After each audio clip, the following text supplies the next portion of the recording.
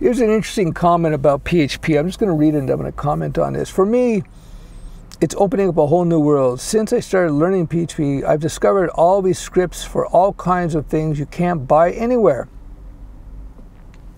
Some of them haven't been maintained well, but if you know PHP well enough, you can refactor it to make it compatible with the most recent version of PHP. Find and change all the deprecated elements, and now you have a fully functional app. I'm bringing solutions into the workplace but none of my coworkers are. It's working for me.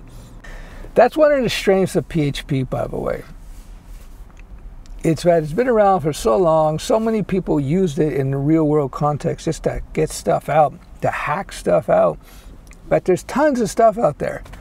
And a lot of it's not well written, as he just said, but you may have like 75% of the guts of what you need there. And so that you can just grab it, improve it. Refactor means just, you know, rework it, improve it, fix it up, make it, uh, make it cool. And then boom, drop it in where you need to have it dropped in and Bob's your uncle. That's a perfectly reasonable thing.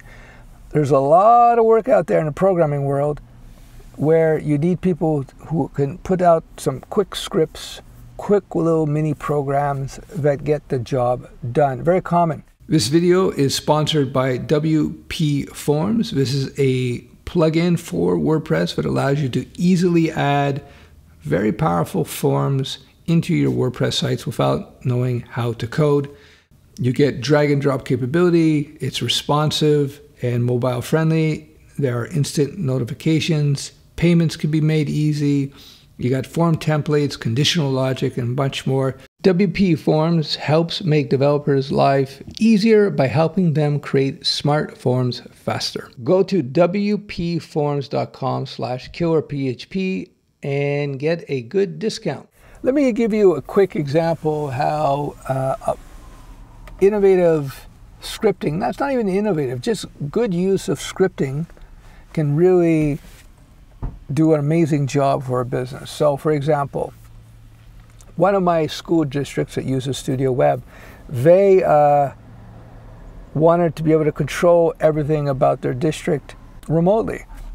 So, what they do is they manage everything through their database. And what we did was we set up a system where they will output a CSV with all the changes, all the updates that they need for their school, and they drop it into a, uh, a directory on their systems. They have a cron operating, a script, cron operating, that then uh, shoots that file up to one of our uh, systems, one of our virtual servers.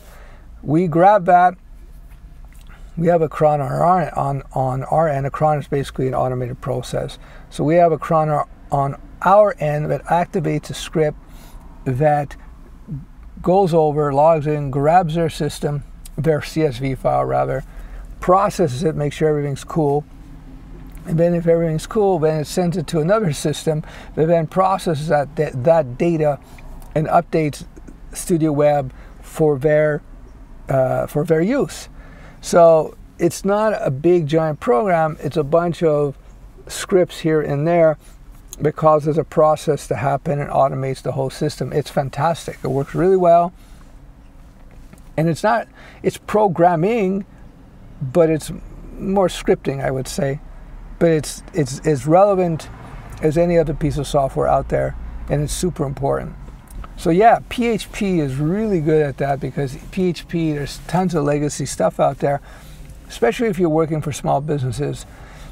You know, there's tons of like shopping cart implementations out there. There's tons of, you know, all kinds of stuff. I can't think of other things. off. You know, blogs, like CMSs, uh, you know, you got Drupal, you got, uh, you got WordPress. Is a little bit more advanced. There's all kinds of little things like little mailing scripts and who knows, right? Depends on what your organization will need.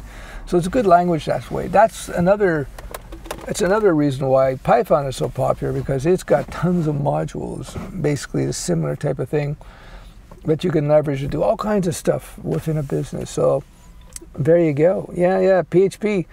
It uh, it has its uses. It's you know people criticize it because it's got a dirty past. So does Java, right? So does Java. So does Python. Like you got lots of Python 2x code out there, but won't work with 3.x code. Uh, you got lots of old Java out there, you know, like applets. Nobody uses these anymore. But yeah, you know, all the older languages have dirty legacies to a certain extent, you know. JavaScript too. You just got to use what's good and uh, take it from there. Bye bye.